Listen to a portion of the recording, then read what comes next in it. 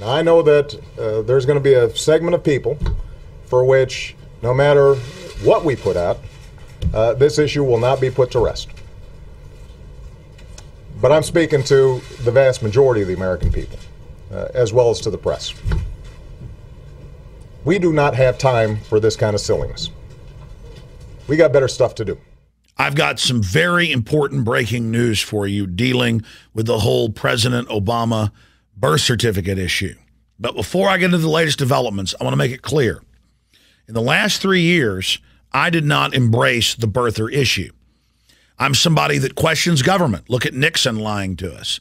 Look at uh, Clinton lying about Monica Lewinsky and then cruise missiling a African aspirin factory as a political diversion. Look at George W. Bush premeditatedly lying about WMDs in Iraq and being caught. So it's good to question. But there's all these real issues out there that Obama needs to be confronted on continuing torture, wars, giving health care waivers to his friends to not have to get the insurance, so many things. And I've wanted to focus on that. So when this whole birth certificate issue first got raised three years ago, I thought it was a red herring, a distraction from issues.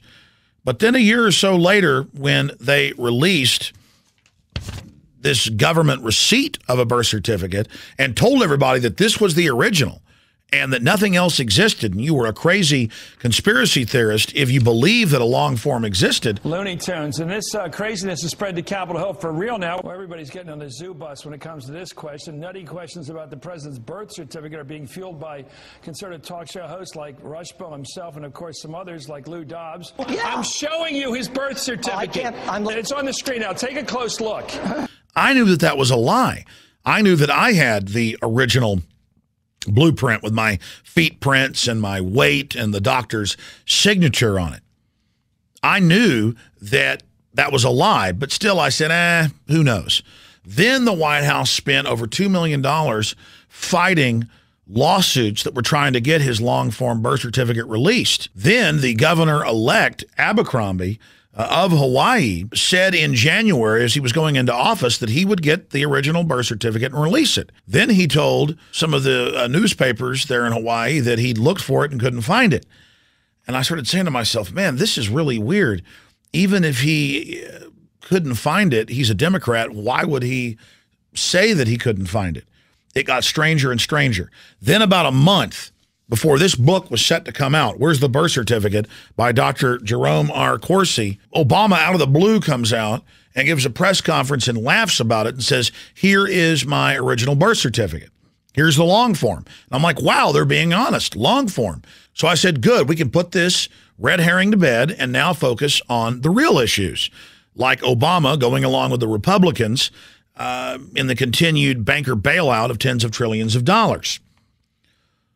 But then our phone started ringing, and we saw major uh, Photoshop blogs that weren't even political looking at this and pointing out that when you put it in Illustrator, you could break it into layers. And, and, and that's normal, except that normally it only shows two layers. There were a whole bunch of different layers.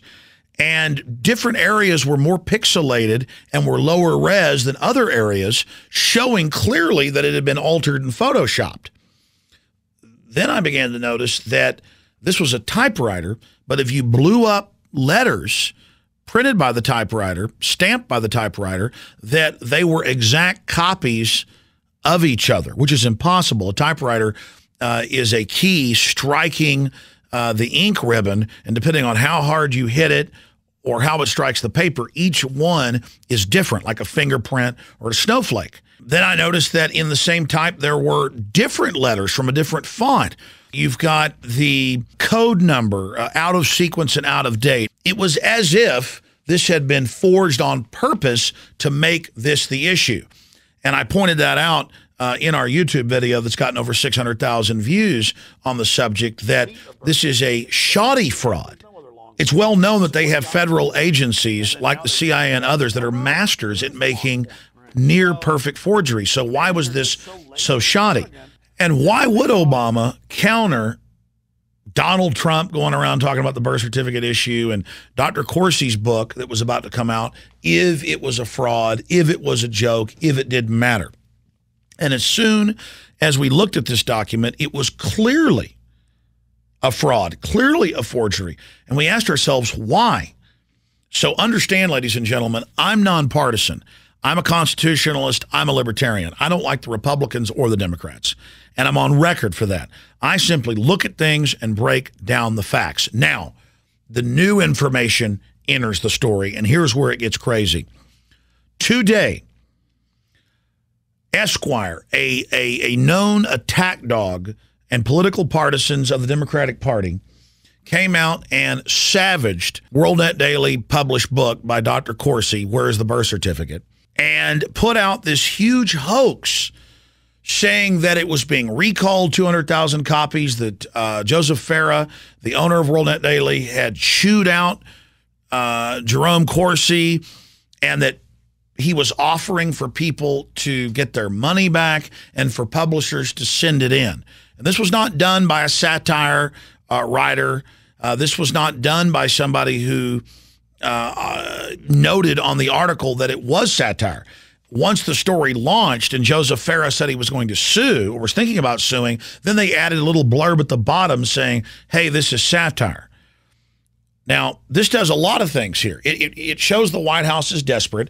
Uh, this came out on the same day that the White House told uh, ABC News and others that they're going to run, not on Obama's record, of basically being a Bush clone minus different rhetoric, and that they were going to put out T-shirts about the birth certificate and make it a big joke because they don't want to focus on the issues. So clearly, in, in a concerted effort, they're still afraid of this book. They come out and create a hoax saying it's been discredited. The publisher has removed it. He's taking it off bookstore shelves. You can get your money back, trying to create a grassroots buzz for people to try to get their money back. I mean, this is economic espionage. This this is an extremely uh, dirty trick. And if the White House has already discredited all this, and this is their new campaign slogan, uh, why then would they engage in this type of just unbelievably dirty trick? And it's because they are scared. Well, it now turns out that Dr. Jerome Corsi is going to be coming out in the next few days, including on my radio show uh, this Friday, and breaking down their forensic experts uh, that have proven that basically this is a composite of multiple real uh, Hawaiian birth certificates from 1961. And that is what we had said a month ago when all this first broke. Uh, again, at first on air, I was like, well, okay, looks like it's real. We'll have to check it. But there you go. Let's move on to real issues. And then we look at it and it's like, oh my God, this thing is fake on purpose. So either it's they didn't want to use an agency and they used Bob down the hall to do it because they were afraid of leaks to make a good fake, a good forgery, or they are simply engaging in a psyop trying to make the whole debate continue to be about the birth certificate because it's balkanizing and divides the people along an issue that doesn't deal with the banker bailouts and the corruption and all the things that both major parties are involved in. But either way you slice it, this thing has been altered. I mean, uh, in more than 50 ways, and that's conservative. Then you've got the White House releasing the latest final birth certificate, and it's got this green hash background that is not on the copy that the Associated Press uh, reportedly went to the stacks and got.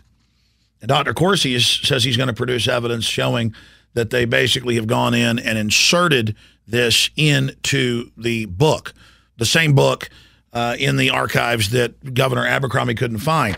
And then you have the fact that this doesn't even have the official seal. None of them do. Not uh, the first AP one, not the one the White House released. And again, I could go on for hours. This is a giant mystery, a giant whodunit. I don't know why they've put out this fake birth certificate. Uh, he may have been born in Hawaii. I would rather debate Obama on the issues, just like I'm against most of the Republican people that are running.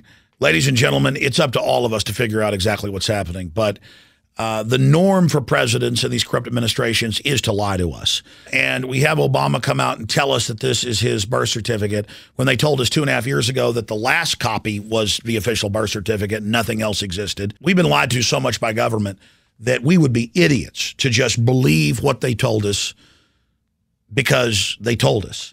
Uh, it is common sense to question these people. And I wish we could end this issue, but it's only getting deeper. And maybe that's what they want. Tell us what you think. The only people who don't want to disclose the truth are people with something to hide. Visit Infowars.com and PrisonPlanet.com.